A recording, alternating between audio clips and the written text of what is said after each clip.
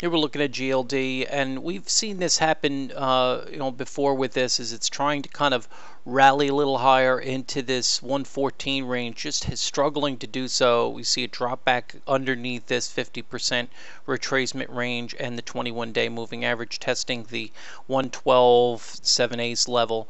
Uh, just not able to really continue that momentum up to the upside just yet, uh, and breaking a little bit. Well, you've got to give this a little bit of time but I think it's still trying to retest this lower range and it's having a very tough time trying to break through. And as I said, unless we really significantly break through this, uh, say 114, 115 level, uh, I'm not very bullish on uh, on gold or silver at this point.